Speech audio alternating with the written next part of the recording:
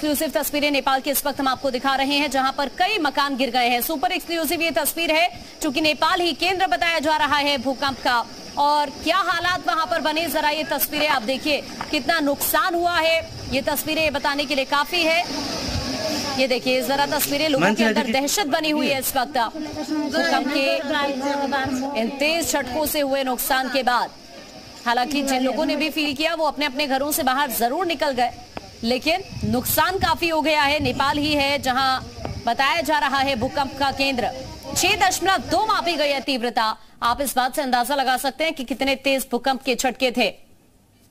लोग सहम उठे, सभी लोग अपने अपने घरों से बाहर निकल आए। जो लोग बिज़ी थे, अपने ऑफ़िस में थे, वो सभी लोग अपने अपने घरों से बाहर निकल आए। तस्वीरें आपको ये सुपर एक्सक्लूसिव हम दिखा रहे हैं। काफ़ी नुकसान नेपाल में भी हुआ है। उसके बाद अब ये गाजियाबाद की तस्वीरें हैं। दिल्ली एनसीआर के अलग अलग इलाकों से तस्वीरें आ रही हैं। लखनऊ की बात करें, यूपी के कई इलाकों में, चाहे अयोध्या हो या फिर कई जगह से ऐसी तस्वीरें आई हैं जहाँ पर लोग सहम गए।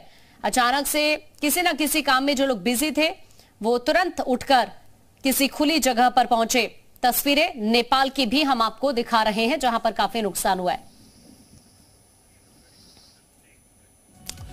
बहराइच में भी भूकंप के झटकों से हड़का मच गया। एसपी दफ्तर में अफरा तफरी मच गई। एसपी सिटी सीओ समेत तमाम लोग दफ्तर में मौजूद थे और दफ्तर से बाहर निकल आए। जन सुनवाई के दौरान महसूस किए गए थे भूकंप के झटके। वहाँ पर लोगों की मौजूदगी थी और तमाम अधिकारी मौजूद थे, लेकिन जन सुनवाई केंद्र से तमाम जो अधिकारी हैं, जो आम लोग हैं, वो बाहर निकल आए। ये तस्वीरें हम आपको दिखा रहे हैं। बहराइच की।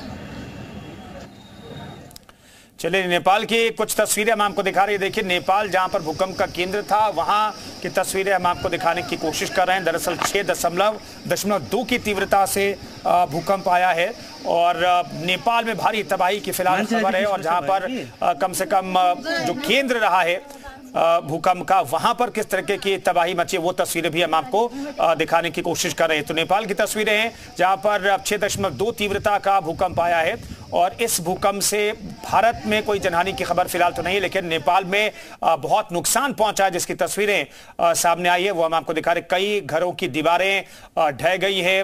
कई घरों को नुकसान पहुँचा, लेकिन जनहानि किस तौर पर हुई है नेपाल में, इसके लिए थोड़ा सा इंतज़ार करना पड़ेगा। लेकिन जैसे भूकंप के झटके महसूस किए गए, वहाँ पर लोग अपने घरों से बाहर निकल आए, लोगों का हुजूम वहाँ पर इकट्ठा हो गया। इन सब के बीच बहराइच की तस्वीरें भी हम आपको दिखा रहे हैं, जहाँ पर जनसुनवाई चल रही थी, और इसी दौरान भूकंप के जब झटके महसूस किए गए तो तमाम जो कर्मचारी, अधिकारी और फरियादी थे, वो दफ्तर से बाहर आ गए।